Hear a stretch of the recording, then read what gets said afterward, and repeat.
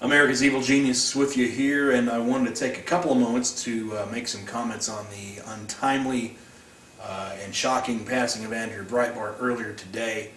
Um, I was stunned when I heard the news, just as I think all of the rest of you were. It was like a punch to the gut. Um, you know, I was always, I, I never knew Andrew Breitbart, never met him, never talked to him, but uh, always was aware of his work, always enjoyed his work.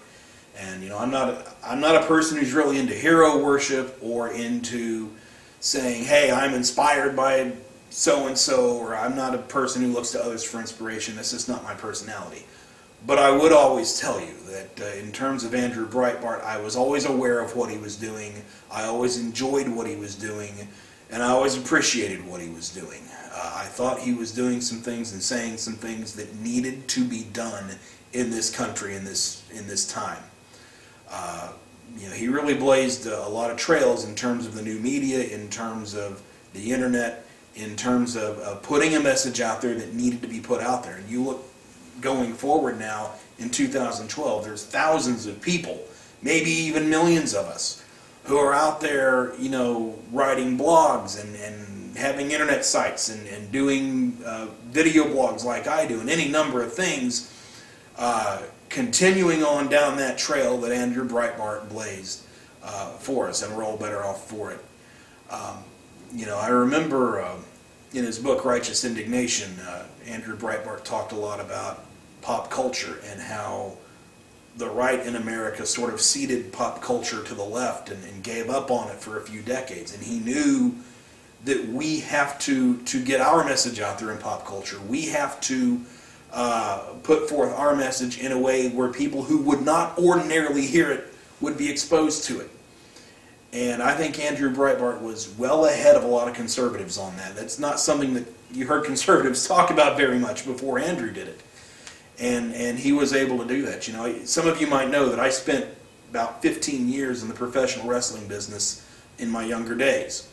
And uh, in the wrestling business, there's a particular term that you sometimes hear people mention uh, term called the it factor. You know, so and so has the it factor. And what the it factor basically means, you can't really define it, but what it basically means roughly is that you have the ability when there's a camera on or when you have a microphone in your hand, you have the ability to jump through a television screen and grab someone by the lapels and force them to pay attention to you. And Andrew Breitbart had that it factor. He was able to get his message out there in popular culture in places it would not ordinarily go because he had that ability to say things in such a way that it forced you to pay attention to them and it forced you to respond to them. And we're going to need a lot more of that this next upcoming year in the election and, and even going forward uh, if we're going to positively change America. But, uh, you know, I, th I think that uh, Andrew Breitbart was a tremendous contributor to the American discussion. And he said a lot of things that needed to be said, stood for a lot of things that needed to be stood for, and uh, kind of went after some sacred cows that needed uh, needed to be killed, if you will. Uh, in, in, closing, I suppose I can say, again, not knowing Andrew Breitbart, never having met him, but I always got the impression by watching him and, and, and paying attention to his work that not only did he have the courage to stand what he believed, not only did he have the guts to follow through with it and the vision to, to see what he could do, but I also think that he got, again, not knowing it, but I always got the impression that he got a lot of enjoyment out of doing what he was doing. That he relished this a little bit. He enjoyed it. Uh, if you ever followed him on Twitter and saw some of the back and forths and the arguments he would have with liberals, you got the feeling that he really got a charge out of doing this.